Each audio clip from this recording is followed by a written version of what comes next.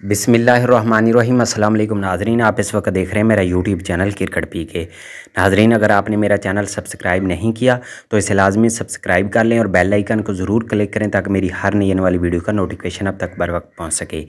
नाजरीन, कल पाकिस्तान की क्रिकेट टीम ने इंग्लैंड की क्रिकेट टीम को दूसरे टी मैच में दस विकटों से शिकस्त दे दी।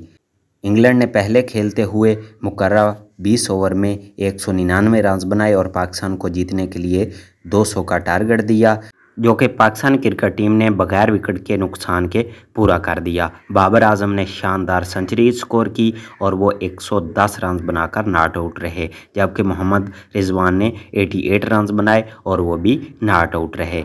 नाजरीन, अब मैं आपके साथ बाबर आज़म और मोहम्मद रिजवान का पार्टनरशिप का रिकॉर्ड आपके साथ शेयर करता हूँ कि बाबर आज़म और मोहम्मद रिजवान ने भारतीय ओपनर्स का भी रिकॉर्ड तोड़ दिया।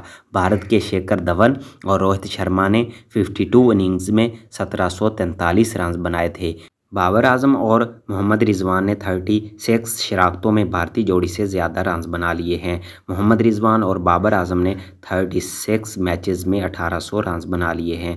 नाजरीन, यहाँ मैं आपके साथ दूसरा रिकॉर्ड शेयर करता हूँ कि बाबर आज़म और मोहम्मद रिजवान पाकिस्तान के वाहिद ओपनर बैट्समैन हैं, जिन्होंने एक सिंगल टी ट्वेंटी मैच में ओपनर की हैसियत से सबसे ज़्यादा छक्के लगाए। उन्होंने कल इंग्लैंड के ख़िलाफ़ कराची स्टेडियम में एक सिंगल मैच में नौ छक्के लगाए और इससे पहले ये रिकॉर्ड इमरान नज़ीर और मोहम्मद हफीज़ के पास था, जिन्होंने एक सिंगल टी ट्वेंटी मैच में सात छक्के लगाए थे। इमरान नज़ीर ने इस मैच में पाँच, जबकि मोहम्मद हफीज़ ने दो छक्के लगाए थे और मुखालफ टीम न्यूजीलैंड की थी और मैदान था कैप्टन का।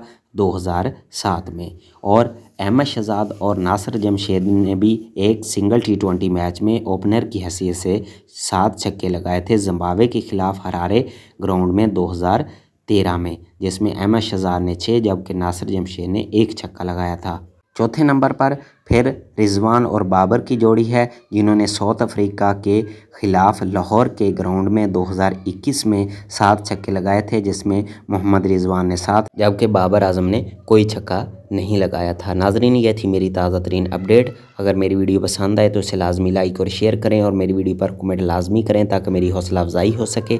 नेक्स्ट अपडेट तक मुझे दें इजाज़त। अल्लाह हाफिज़।